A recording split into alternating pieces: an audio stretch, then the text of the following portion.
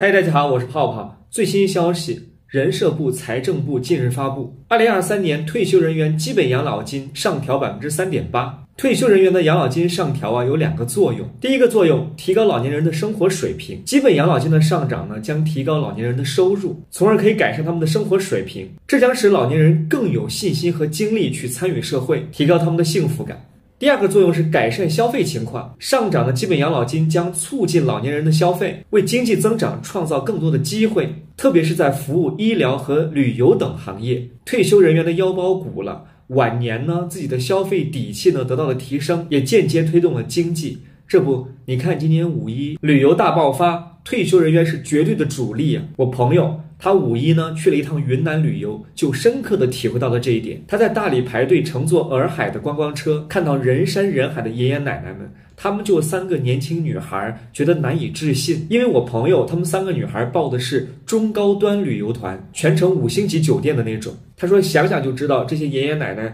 大妈大爷们，他们的退休金有多高了？但是我在网上也看到另一种声音，有网友说，除了上调城市人员的养老金之外，能不能给农村的老人也上调一下养老金呢？确实，不同的人群、不同的背景，领到的养老金数目呢是天差地别。农民可能每个月就一百多块钱，而退休的机关干部们，他们也许领到的养老金呢，一个月有几千块，这种差距是显而易见的。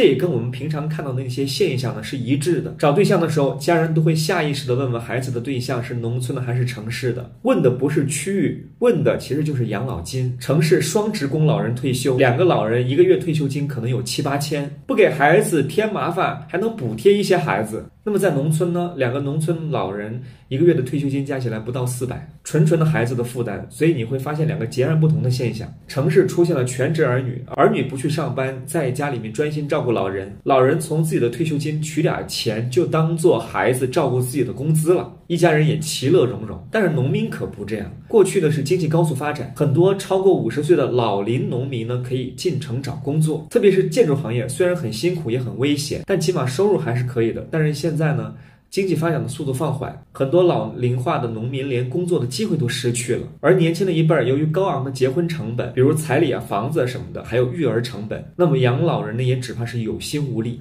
庞大的农村老人们仅靠一个月一百多的退休金，那么如何生活呢？有人说，养老金的发放呢是按照每个人做出的贡献来衡量的，这个也没毛病。但是人家农民也做出了贡献呀，而机关领导在职的缴纳社保也是从二零一四年开始的，以前都是没有交过的。而从二零一四年补的养老金也是财政拨款，事业单位好些人只交了几年社保，但退休时视同工龄，就当做交了一辈子社保了。所以说，还是要重视一下。农民的养老问题，虽然现在社保压力很大，但应该在现有的养老资金池面里头进行多寡的一个平衡，而不应该区分过度的档次，这样会加剧贫富分化。那么整个养老呢也难以平衡协调。政策上应该向缴费时间长、基本养老金低、年龄大的以及农村人上去倾斜，把这些人的基本养老金涨幅比例呢提高一些，这样才能体现出社会的公平。